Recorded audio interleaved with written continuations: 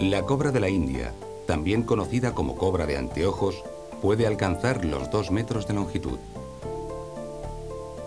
Aunque está considerada una de las especies más peligrosas, su veneno solo llega a ser mortal para un ser humano en poco más del 15% de los casos.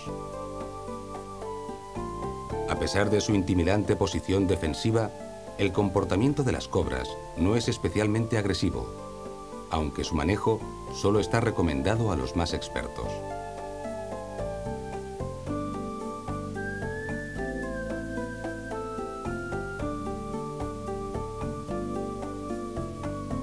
Solo los cuidadores de los centros especializados en venenos y sus antídotos están capacitados para manipular a las cobras directamente con la mano.